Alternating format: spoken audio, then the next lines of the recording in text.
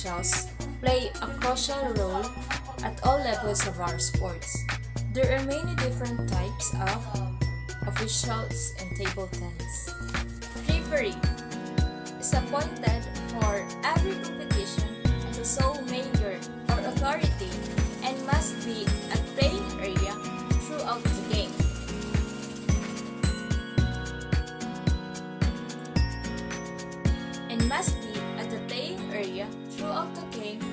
generally ensure that the rules are regulated conducting the competition, allowing a temporary suspension of the game in having misbehavior or injury of players.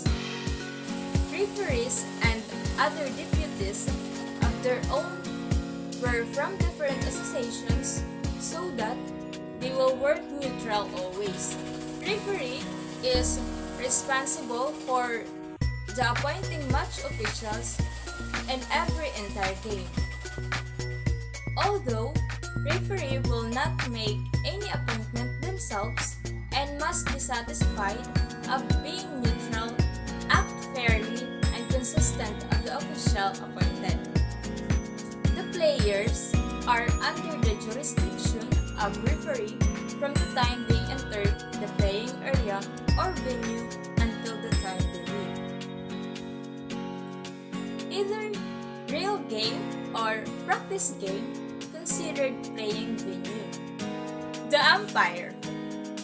There is an umpire in each match and officiate the game alone. Who decide which the point goes to in each rally is their primary duty.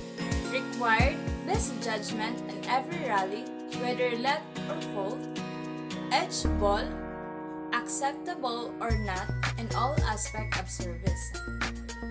Judgment on misbehavior of players.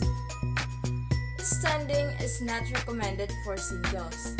Must sit or stand 2 to 3 meters and slightly raised from either side of the table and middle in line with the net. Standing is recommended for doubles but advised to stand not high enough to see clearly the surface of the ball bounces on the correct half courts if it is correct. Assistant umpire. Same as the umpire's duty. They share duty and sit opposite side of the table. Also called directly to seek the umpire's attention on umpires and seek violation and others. Same duty as the umpire, but the final decision is on the umpire's judgment. Timekeeper. The assistant umpire may also act as timekeeper.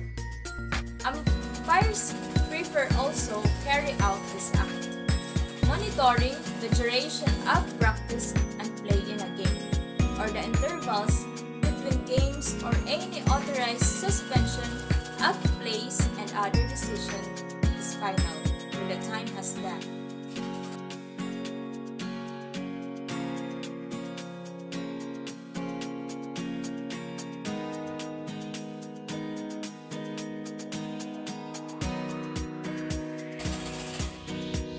Badajos to serve. Love all.